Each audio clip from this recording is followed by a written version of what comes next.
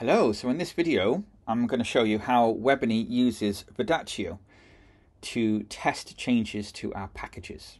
Now Webiny is, is quite a big project um, and we also have, as well as the main repo which you can fork and, and edit stuff directly on, on Webiny, we've got a user created project which people can create just using npx create Webiny project just like you can with Next.js or other things. So how do you make sure that when people run this, then they're going to get everything that they need and they're not going to encounter any errors? Well, we don't obviously we don't want to publish our packages publicly so that people can access them on npm.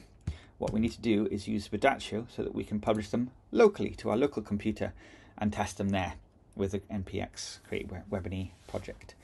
So I'm going to show you how how we do that.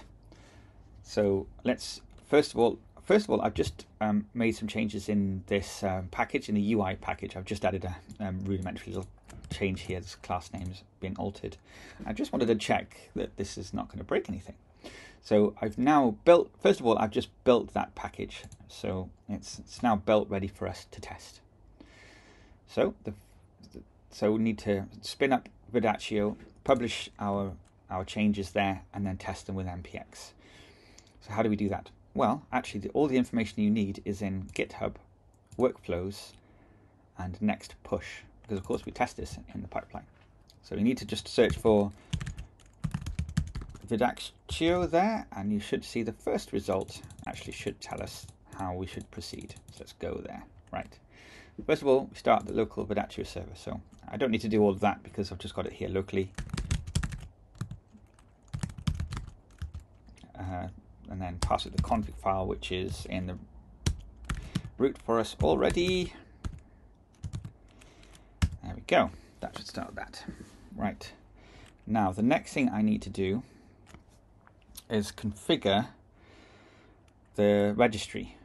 Right. So at the moment, whenever you run um, npm or npx, it goes to registry.npmjs.org to get your packages. But we don't want it to do that. We want it to go to Verdaccio.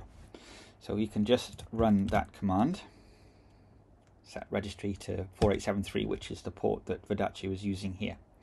Now, if I go here into my user root, you'll see that I have um, npm Now I've got that here. So you see it's using the, the, the instead of, instead of npm. Cool.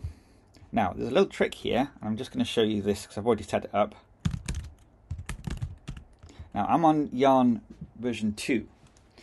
So I need to also do this, which is I need to also tell Yarn to use that same registry as well. Uh, because I have a different syntax from version 2 onwards. So if you're using Yarn 1, it's fine, it will pick it up from the npm-rc. But if you're using Yarn 2 or greater, you'll also need to, to create um, a Yarn RC in, in your user root folder. Cool. So the next thing is I don't need to do the git stuff I need to release, I need to actually version the packages. So what I'll need, what that will do is we'll use Lerna to create a new version of all of our packages. Um, it will make a commit to the repo and then do like a, a beta release kind of thing. So once that's done, it might take a minute or two. I'll show you what that has achieved.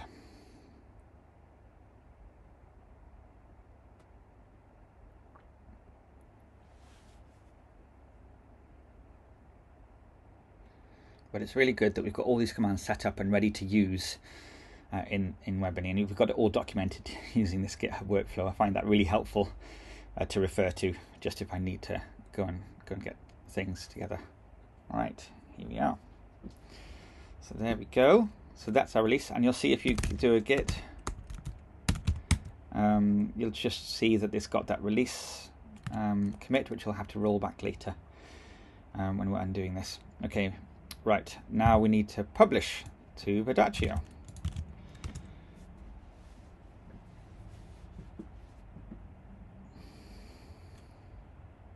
Oh dear. Okay, I'm just going to stash my changes because I've I've created the package now. I don't need to worry about um, that button that I I didn't commit. Okay, right.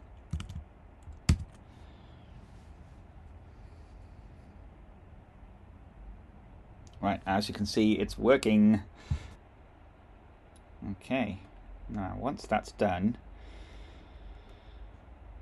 you can disable Webiny telemetry, but I'm not going to worry about that right now. What I'm going to do is I'm going to get this command ready.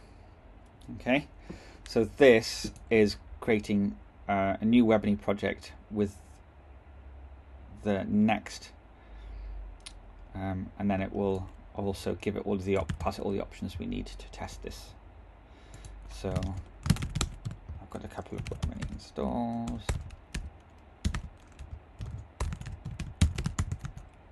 here, so I'm just going to run that there. Now I'm just going to make it all in line because it doesn't work unless you do this. Right, okay. Test project, tag next. Right, okay, and then of course we don't have because there's that this was is for the pipeline where it's got access to some context, some environment variables and things, but we don't have those here.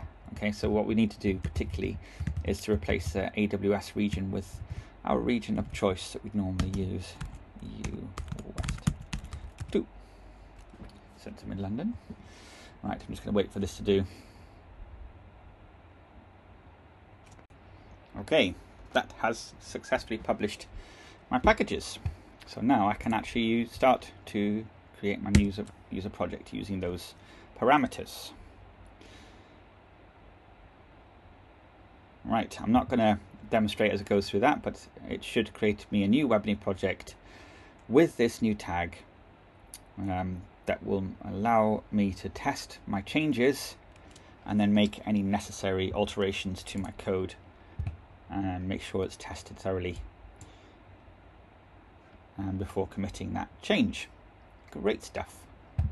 Okay, right. Now let's pretend that that's all done, right? And that we've tested our project, got some changes to make. So how do we now change back so that we no longer use Verdaccio. Well, first of all, um, let me just stop that because otherwise it will complain. Stop Verdaccio, point the registry back to npm.js. So um, run this command npm config set registry back to registry.npmjs.org. And of course, um, you need to do the same for your Lerna one. Sorry, your yarn one if you if you're using that. And then we roll back the commit that we made um, to release the new uh, new uh, the new packages. So I'm just going to git reset hard head for that one, and you'll see I don't have any changes there anymore. And then I also delete the tag. So this creates a, a release tag, um, but what you'll find is if you then uh, are testing this a bit later, then it might uh, throw a wobbly because it's already got this tag. So I'm just going to delete that so that it's all clear and I don't need to worry about it anymore. And that is the final step. We are communicating back with uh, npm.js as a repository, but I hope that's helped you to see how you can use um, Verdaccio to test your projects locally um, before publishing them to, to npm. Great stuff.